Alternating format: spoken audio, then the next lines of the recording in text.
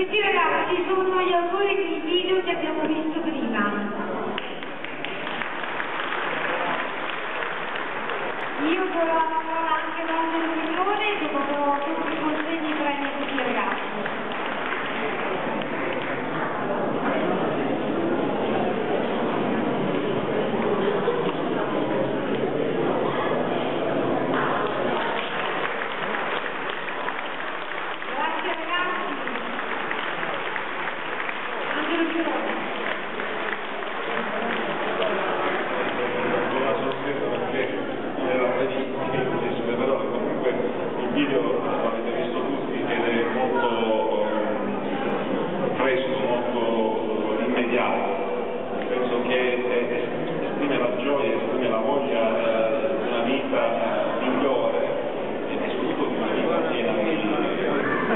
you know,